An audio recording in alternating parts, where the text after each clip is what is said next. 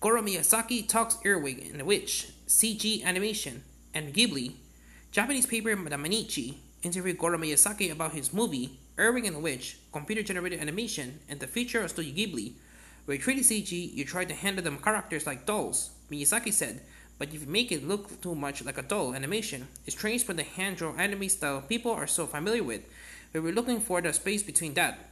Allegedly, his father Hayao remarked, "This country too has now been able to make a, make a film to match Pixar." The younger Miyazaki wasn't quite too keen on this description. It's like saying we worked so hard to win just once again the U.S. military. I think we have a final production unique to a small organization.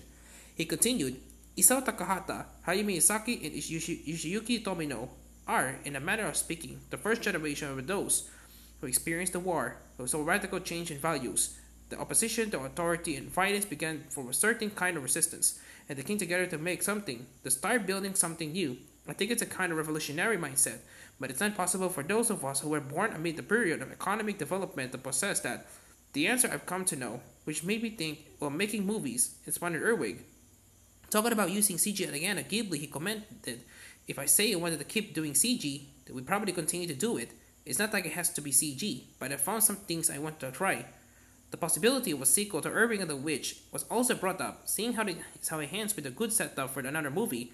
I feel inside myself that it's over. Miyazaki said, My producer also told me because we made such good characters. There are many people who want to see a sequel, and that I should make one.